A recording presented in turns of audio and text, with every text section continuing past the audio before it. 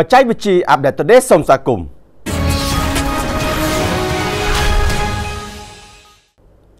ទីបំផុតកិច្ចខិតខំប្រឹងប្រែងអស់ជាច្រើនឆ្នាំរបស់ភ្នាក់ងារអវកាសអាមេរិកហៅកាត់ថា NASA សម្រាប់បានផ្លែផ្កាហើយបន្ទាប់ពីកែវយិតអវកាសដ៏ធំនិងទំនើបបំផុតរបស់ខ្លួនមានឈ្មោះថា James Webb Space Telescope បានបង្ហាញសមត្ថភាពថតផ្តិតយករូបភាពកញ្ចុំផ្កាយនៅក្នុងលំហអវកាសដែលមានរយៈចម្ងាយរហូតដល់រាប់ពាន់ឆ្នាំពលឺ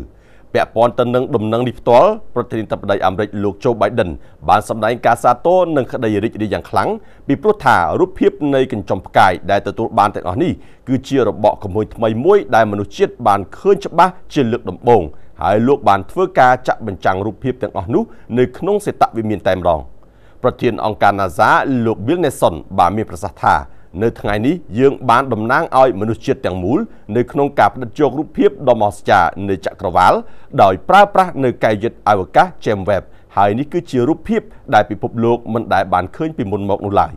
បន្ថែមពីនេះលោក Nelson បានរៀបរាប់ថារូបភាពទាំងអស់នេះគឺរួមបញ្ចូលទាំងទស្សនវិជ្ជារយៈចម្ងាយឆ្ងាយបំផុតនៃលំហចក្រវាឡដែលថតបានជាលើកដំបូងបំផុតនោះ។នេះគឺជាផុសតាងដែលបង្ហាញថា ការយត់ James Webb នឹងអាចជួយយើងស្វែងរកចម្លើយទៅនឹងសំណួរដែលគ្មាននរណាម្នាក់អាចស្មានដឹងហើយទាំងអស់នេះគឺដើម្បីជួយយើងឲ្យដឹងកាន់តែច្បាស់ពីលំហអវកាសដ៏ធំល្វឹងល្វើយគ្មានដែនកំណត់និងកន្លែងឈរជើងរបស់មនុស្សជាតិនៅក្នុងកន្លងអវកាសនេះផងដែរ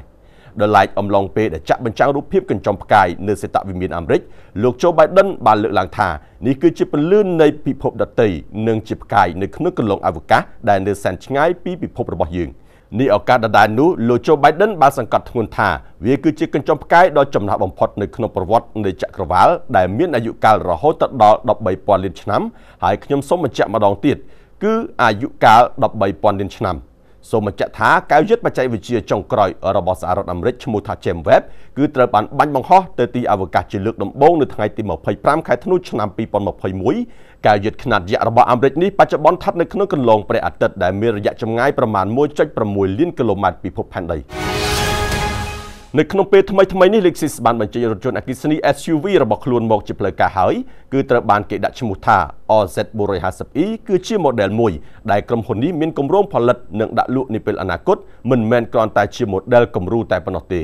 សម្រាប់ការ design OZ450e គឺមានលក្ខណៈស្រដៀងគ្នាច្រើនទៅនឹង BZ4X ដែលក្រុមហ៊ុន Toyota បានដាក់បង្ហាញកន្លងទៅដែរនៅខាងក្នុងរបស់រថយន្ត OZ 450e គឺត្រូវបានគេ design ឲ្យមើលទៅប្រណិតនិងទំនើបដែលមានអេក្រង់ touch screen ទំហំ14អ៊ីងជាមួយនឹងដំបូលប្រភេទ Panoramic Sunroof មានកញ្ចក់លាតពីកៅអីខាងមុខរហូតទៅដល់ខាងក្រោយតែម្ដង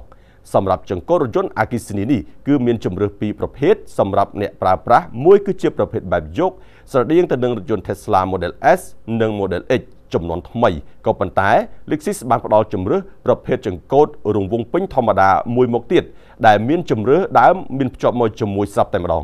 រថយន្ត Orset 450e គឺជារថយន្តអគ្គិសនីដំបូងរបស់ Lexus មានភ្ជាប់មកជាមួយនឹង Direct 4ដែលជាប្រព័ន្ធបើកបរ All Wheel Drive របស់ក្រុមហ៊ុននេះជួយឲ្យរថយន្តទទួលបាននូវល្បឿនស្ទុះចាប់ផ្ដើមកាន់តែលឿនទប់លំនឹងបានប្រសើរនិងប្រើប្រាស់ជាមួយនឹងធម្មពលតិចផងដែរ។រថយន្តនេះបានភ្ជាប់មកជាមួយនឹងធម្មពលថ្មទំហំ71.4គីឡូវ៉ាត់ម៉ោងត្រូវបាន Lexus សន្យាថានឹងអាចធ្វើដំណើរបានខ្ទង់362គីឡូម៉ែត្រនៅក្នុងពេលដែលសាកភ្លើងពេញម្ដង យ៉ាងណាក៏ដោយសម្រាប់តម្លៃរបស់រថយន្ត OZ 450e នៅមិនទាន់ត្រូវបានក្រុមហ៊ុនគេប្រកាសប្រាប់ឲ្យដឹងនោះទេក៏ប៉ុន្តែគេគ្រោងនឹងដាក់លក់រថយន្តនេះជាផ្លូវការនៅក្នុងអំឡុងចុងឆ្នាំ2023ខាងមុខនេះនៅទីបំផុតក្រុមហ៊ុន Nothing បានបញ្ចេញលក់ទូរស័ព្ទ Nothing Phone 1ជាផ្លូវការហើយដោយលក្ខណៈសម្បត្តិសំខាន់សំខាន់របស់វាក៏ត្រូវបានលាតត្រដាងរួចរាល់ហើយដែរ ហើយអ្វីដែលធ្វើឲ្យ Nothing Phone 1ប្លែកពីគេនោះគឺទៅលើការ design ខាងក្រោយរបស់វាផ្ទាល់តែម្ដងដោយវាបានប្រើប្រាស់នៅកញ្ចក់ថ្លាមើលឃើញខាងក្នុងក៏ដូចជាមានភ្លើង LED ពណ៌សដែលត្រូវបានដាក់នៅខាងក្រោយ។ ភ្លើង LED នេះគឺត្រូវបានក្រុមហ៊ុនអះអាងថាដាក់មកដើម្បីជាប្រយោជន៍ទៅដល់ការប្រើប្រាស់ជាក់ស្ដែងភ្លើងមួយខ្សែដែលស្ថិតនៅក្បែររន្ធសាកថ្មនោះវាអាចបង្ហាញឲ្យដឹងពីកម្រិតធម្មពលថ្មពេលដែលកំពុងតែសាកបានភ្លើងមួយខ្សែនៅកណ្ដាលអាចបង្ហាញឲ្យដឹងពីពេលដែលទូរស័ព្ទនេះកំពុងតែសាកថ្មឬក៏កំពុងតែផ្ទេរធម្មពលថ្មទៅកាន់ឧបករណ៍ដទៃ ខ្សែមួយនៅជុំវិញកាមេរ៉ានោះគឺអាចជួយពន្លឺបន្ថែមទៅដល់កាមេរ៉ាពេលដែលកំពុងតែថតរូបភាពឬក៏ថតវីដេអូហើយភ្លើង LED ពណ៌ក្រហមតូចនៅខាងស្ដាំនោះវិញគឺមាននាទីបង្ហាញឲ្យដឹងពេលដែលកំពុងតែថតវីដេអូរីឯផ្នែកខាងក្នុងវិញវាមានបំពាក់មួយជាមួយនឹងអេក្រង់ទំហំ6.55អ៊ីនគឺជាប្រភេទ OLED គឺមានកម្រិតបង្ហាញ 1080p